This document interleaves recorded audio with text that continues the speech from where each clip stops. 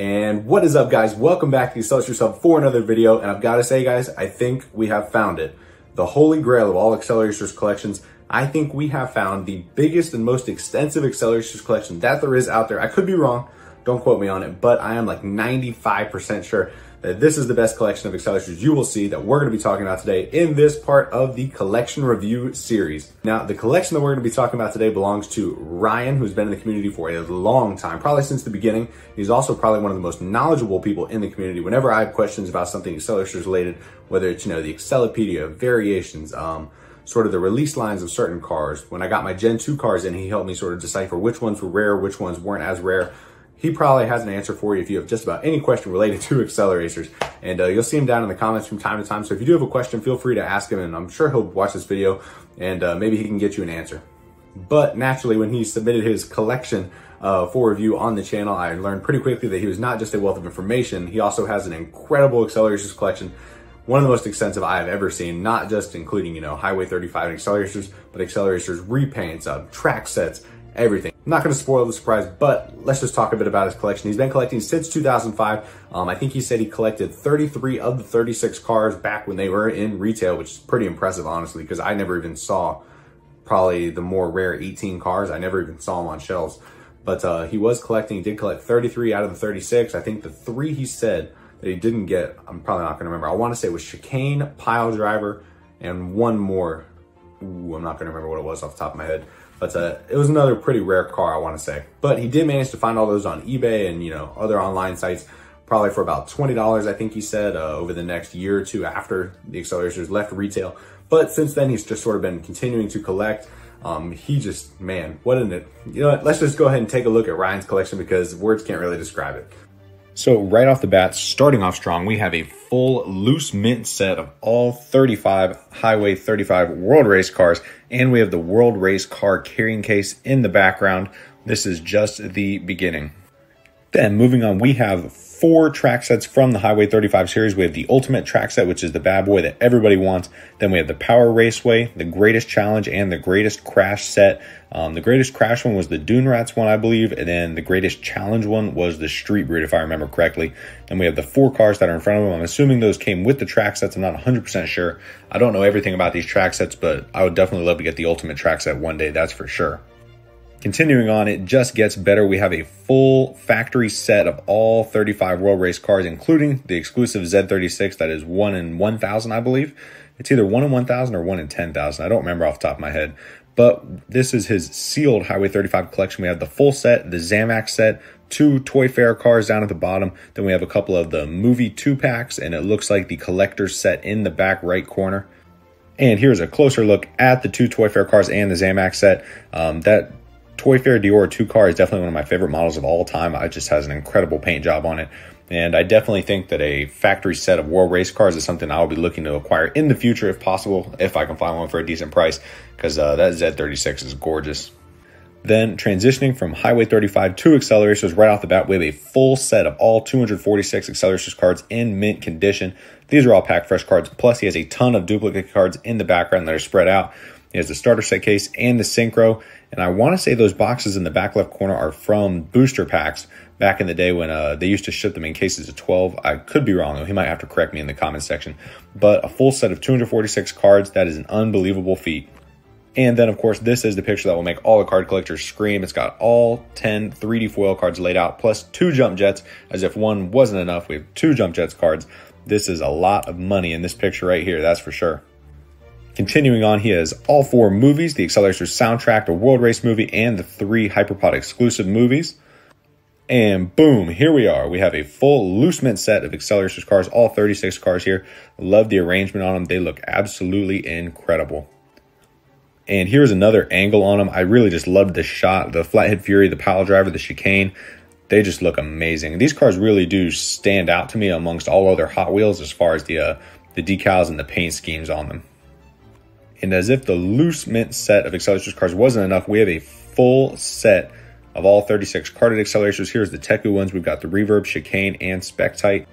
And of course, we also have the Metal Maniacs. We got the Pile Driver, the Flathead Fury, gorgeous, gorgeous cars. For some reason, the photo that he sent me of all 36 in one picture was really blurry. I could not get that picture to, to work with my computer. So we're just going to be showing them individually. And then, of course, we have the silencer set. I've got to say, the silencer set probably would have to be the cheapest of the uh, the four different team sets to complete, in my opinion, these days, just because there's no single chase silencer that's worth you know hundred bucks or two hundred dollars. And wrapping up the full set of Acceleracers cars, we have the drones, RDO 5, RDO 8, RDO 9. Beautiful, beautiful cars. So a full set loose mint of Highway 35 cars and Acceleracers cars. And then he also has the carded set of Acceleracers and a full set of Highway 35 cars that are in the uh, the factory sealed set. And it just keeps going. Here we have the Accelodrome track set all put together. It looks incredible. This really brought back some childhood memories for me playing with this one. I think I destroyed mine. I played with it so much. And then in the background, we do have the Swamp Beast track set as well. And I know as a kid, I always wanted them to make a track set for every single realm. I thought that's what they were going to do, you know, make a Storm Realm one, a Cavern Realm. That would have been something I definitely would have bought as a kid for sure. Then we have the three DLX Hyperpods, the Rocket Socket, Caterpillar Crawler, and the Climber Hyperpod.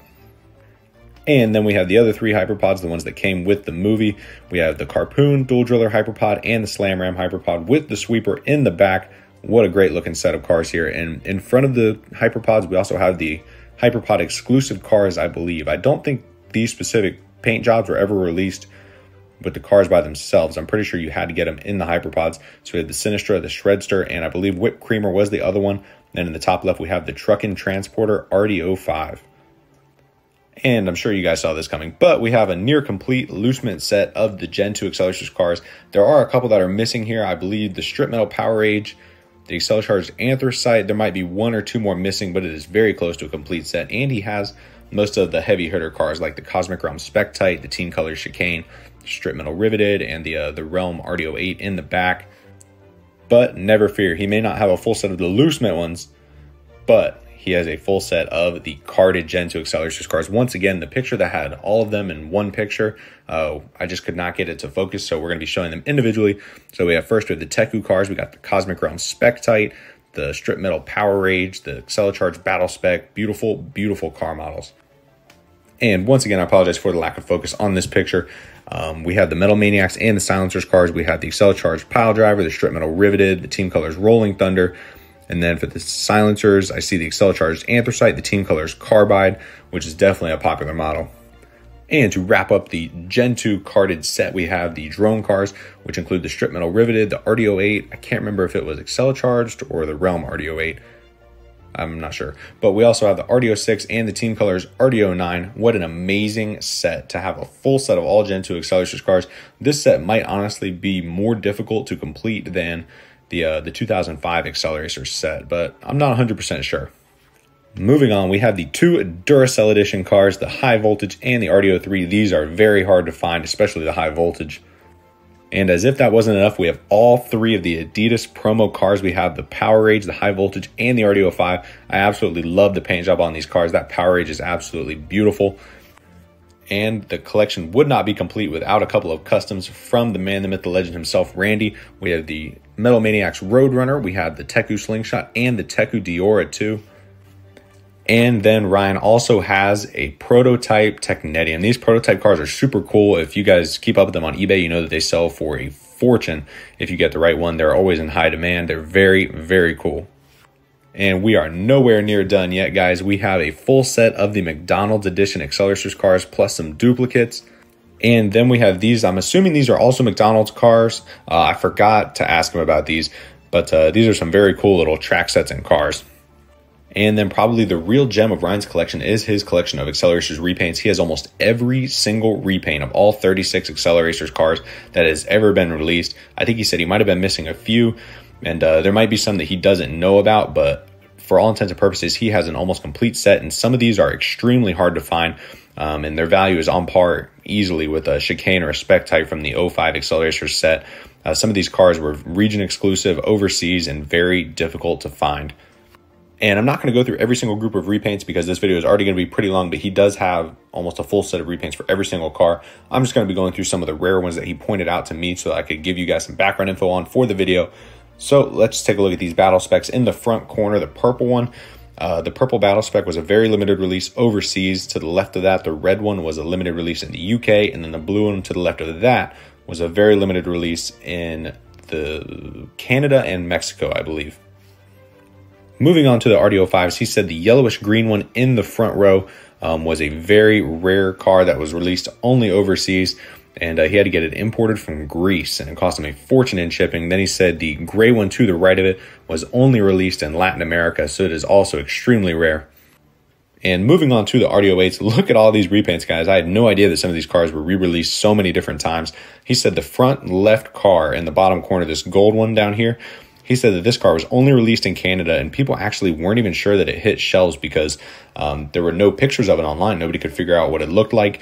But uh, he said it was only released in Canada, and in the 13 years that he's been collecting, he has never seen another one on eBay. So this is a extremely, extremely rare car. Moving on to the Octaniums in the front right corner, the dark blue Octanium. I believe that's the one that he said along with the two beside of it, the two green ones. These were only available as part of an exclusive track set that was released in Target stores on Black Friday in 2009. That's the only way to get these cars. They are super, super rare. And there's a very similar story for a lot of these, like this green nitrium in the front left corner. He said it was another international exclusive release, and uh, he's never seen another one of these on eBay in all the years he's been collecting. So who really even knows how rare some of these cars are? Moving on to the anthracites, this translucent anthracite down in the bottom left, he said this car was Latin America only, and it took him forever to get it shipped into the U.S. He had a lot of issues getting it here because uh, he said it showed up finally covered in international tracking labels, and uh, it kind of looked like he was trying to smuggle something across the border when he finally was able to get it. And then, of course, we have everybody's favorite repaint, Riveted.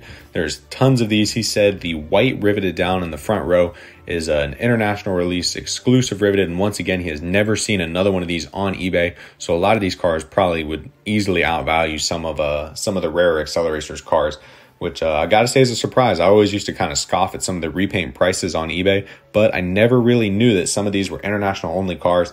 It truly is an incredible collection to wrap it up. So hopefully you guys enjoyed seeing Ryan's collection. Absolutely incredible. I really hope that one day mine will look like that. I know I've got my wall of power behind me and that is just like a drop in the bucket compared to what he has, honestly. But um, but like I said, that's gonna wrap it up for this video, guys. Once again, a huge shout out to Ryan for letting us review his collection for the video. And also, if you want your collection featured on the Acceleracers Hub, I'm always taking submissions. I think we have two or three more that have already been submitted. Probably maybe one or two more to do another video. Um, gonna leave my email down in the description of the video. Shoot me an email with pictures of your collection. Make sure they are well lit, please. And uh, sort of give me a little bit of background on yourself, you know, what you want to be called in the video and um, sort of how long you've been collecting, what is your hardest item to find, so on and so forth. But uh, use Ryan's pictures as an example, see how uh, well lit they are, everything spaced out beautifully, tons of great pictures. But go submit your collection and see if we can get it featured on the Acceleracers Hub for the next collection review series video. But that's going to wrap it up for today, guys. As always, be sure to like this video and subscribe to the Acceleracers Hub for more Acceleracers related content. And I'll see you guys in the next video. Peace out, guys.